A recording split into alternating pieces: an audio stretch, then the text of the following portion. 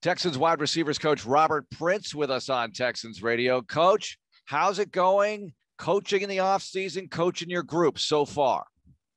Uh, it's been great to work with these guys. Uh, you know, first of all, those guys, uh, they're very willing workers and, and learners. And, uh, you know, we've been trying to put on a clinic every day with uh, different techniques. Coach, one of the things that has been referred to you as a CEO the chief energy officer. Where does that come from? Why why were you given that moniker? I mean, we watch you out on the field, we can see the energy, but where does that come from? How how did that kind of develop for you as a coach to be that guy that has all that energy that kind of raises up the room uh, with that energy, if you will? Well, shoot, I don't know exactly where it started, but um, you know, it might have been way back when uh, I was at Fort Lewis College, Durango, Colorado, back in uh, 94 uh, with our staff. It was me, I was the offense coordinator. Gus Bradley was the defensive coordinator. Oh, wow. Uh, Todd Wash was our D line coach. Yeah. So, uh, you know, we had a pretty good staff and, uh, you know, we had some back and forth and, you know, it was just the way that we, you know, it was just kind of our style. And we went some back, we went back and forth and had some good battles. But, um, you know, it's it's a great profession to be in, and you know, I love coaching, and you know, it, they say every day is a holiday when you love your job, and I just go out there and you know have some fun.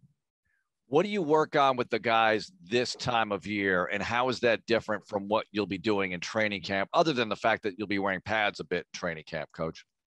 Well, the thing that's great right now is uh, we can slow things down and really work on our, our fundamentals. And you know, Coach Culley's a big big uh, believer in fundamentals, and that's what we're working on. We're working on, you know, from stance and start to the stem of the route to the breakdown to the catch and our blocking technique. It's great to be able to take our time and really work on those fundamentals. Coach, we talk all the time about when players go from place to place, they've got to learn a new offense. But coaches sometimes have to learn a new offense too. How is that transition for you in learning a new offense? You listen, you've been coaching receivers for a long time. You know all the routes and all that, but how is it learning the new offense, the new verbiage and everything that goes with it so that you can communicate it to your players and they learn it as well? Yeah, that's a good point. Uh, you know, a lot of times, uh, you know, there's different uh, words for the same things that we've done. You know, some might, someone might call it peanut butter, someone calls it jelly. You know, just gotta just kind of translate it in your head and you know, I say the synapses are sometimes a little bit further apart, and you know, just got to get used to uh, the terminology. And you know, just like with the players, uh, coaches got to get used to as well. Well, this probably happens in a lot of situations. You've coached a lot of good receivers, but here you have Brandin Cooks, who's an established veteran. You also have Nico Collins, rookie coming in. So, uh, tell us a little bit about the group and what you see so far in them, anyway, Coach. Uh, you know, like I said at the beginning, uh, all of them are, are, willing learners, including Brandon and uh, the other veterans. Uh, you know, just trying to learn the, the fundamentals and the techniques that we're talking about now uh, going forward. And you know, they're all they're all willing to work. And and Brandon's you know been the leader of the guys. And you know, when they see him how he works, they're like, okay, they're going to fall in line. Coach, receivers have all different kind of traits. They're big guys, small guys, some play in the slot some play outside, some step in the backfield. But overall, if somebody came to you, young person said, I want to be a receiver, what would be the one thing you would tell that particular young man or woman that this is what you need to be successful at every single level of being a wide receiver? Uh, number one rule for receiver is to get open and catch the ball. That that's the main thing right? I mean, as simple as that. You got to be yep. able to get open and catch the ball. That means a lot of different things to certain people. Uh, if I'm a smaller person, then you know I probably need to create a little bit more separation. If I'm a big guy, I might have someone on me, and I just can. I'm still open because of my catching radius. So, you know, to to, to make it in the simplest terms, you know, get open and catch the ball. Right, because when you're coaching a guy like you had Megatron, right, in Detroit, and then you have other guys who might not have that kind of catch radius or that ability, but you want to get the most out of their ability. That's got to be a big challenge as a coach, right? Uh, for sure. You know, like you said, uh, had Calvin Johnson, uh, Hall of Famer, had Kenny Golladay. Uh, mm-hmm. Both those guys were were big targets, and then I had uh, other guys, Marvin Jones, who was you know, a six foot guy, and I had Golden Tate, who was a, a smaller, stout, but you know, very powerful uh, person. Also had Anquan Boldin later in his life, mm-hmm. uh, but that guy, I mean, you can have a guy draped all over him. He was going to catch the ball. Greatest high school player I ever saw, Anquan Boldin, was unbelievable. Coach, last year we, we've talked about you know the COVID year of 2020, and it was so tough. It was hard on so many different people, and I know it had to be hard on on you guys as coaches. But in the end, how did last year help you become a better coach? Maybe it didn't, but how do you feel like last year helped you overall?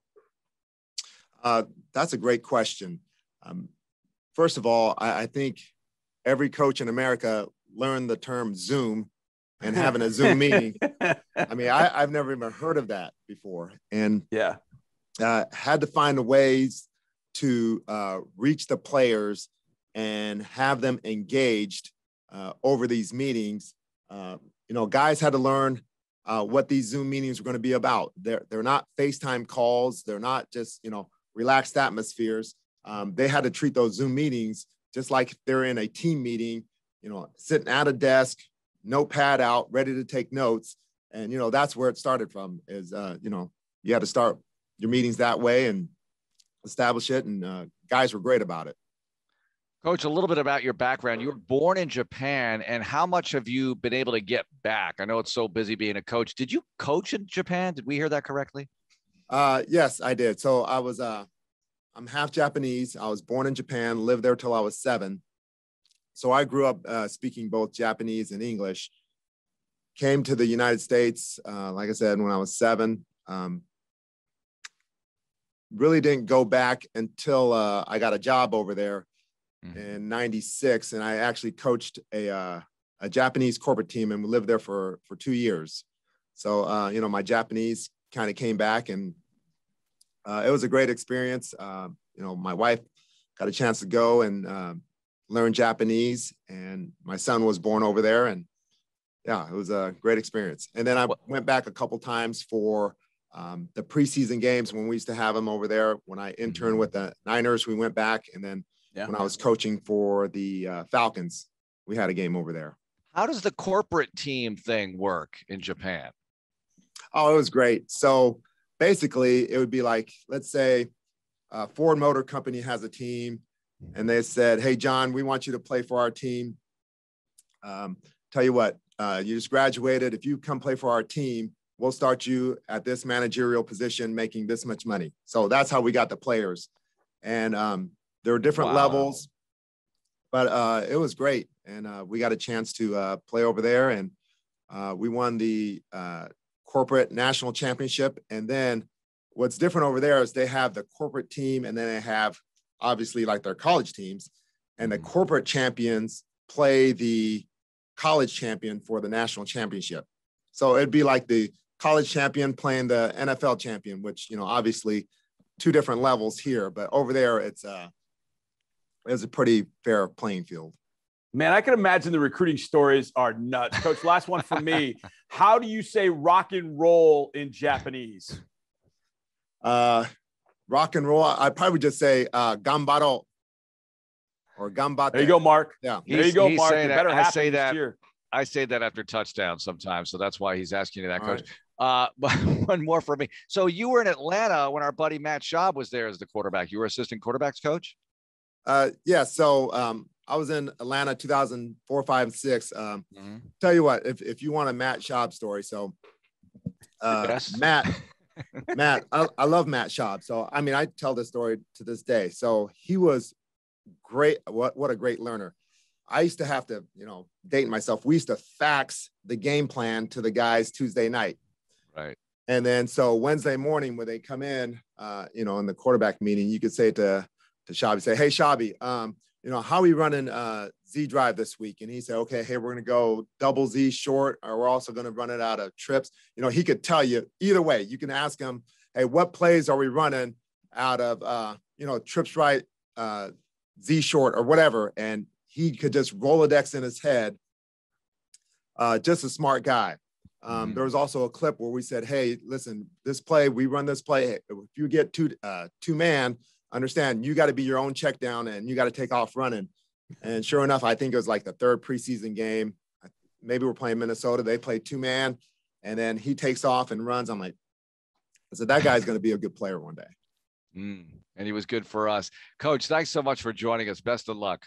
Uh, you're welcome. Thanks, guys. Thanks for watching. Subscribe to our channel and ring the bell to know when we post new content.